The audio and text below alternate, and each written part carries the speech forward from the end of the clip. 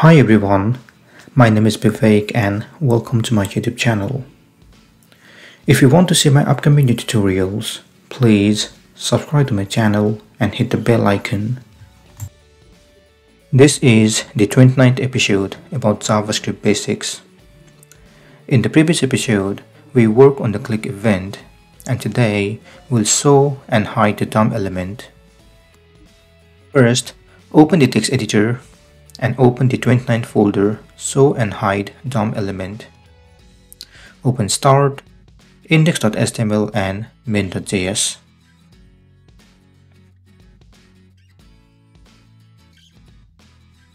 In index.html, I have copied two things over here. Button with id show message then div with id message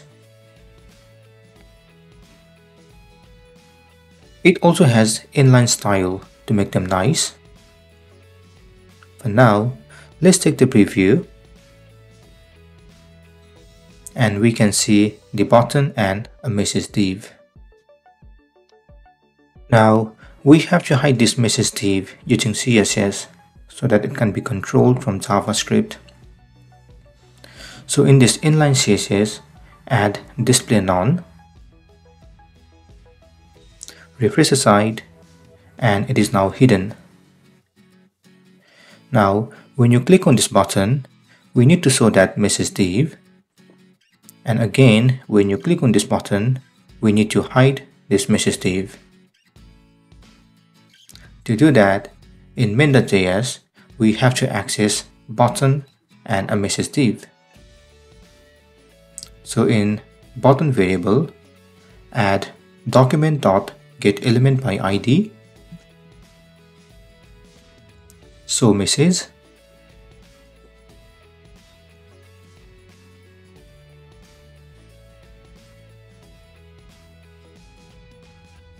then add another variable message and add document dot get element by id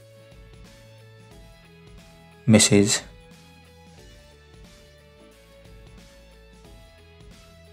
we need to show or hide this message div when we click on this button. So we need to add click event. So add button dot add event listener. Click event and a function. Inside the function, add if-else statement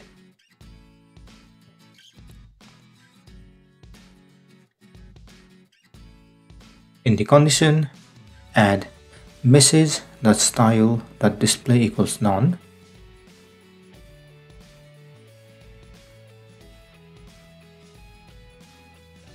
then add message the style that display equals block.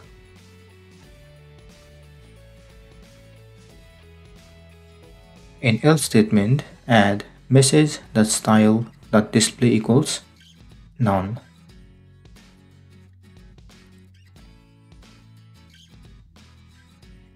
So what this is saying is if the message div is hidden then we have to show them by using display block Otherwise, we have to hide them using display none. Let's check the preview now. If you click on this button, you can see the message div. If you click on this button again, it gets hidden. It is working fine, but the only minor issue at the moment is the label of this button. It should show message and hide message.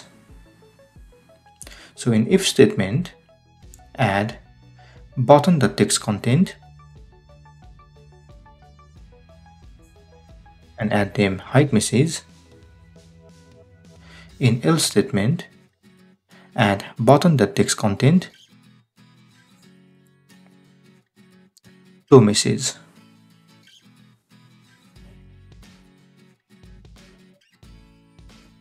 now let's check the preview again and this time you can see height message as well when the message div is visible and when the message div is hidden you can see show message Great! This is the end of this session. In the next session, we'll create an array.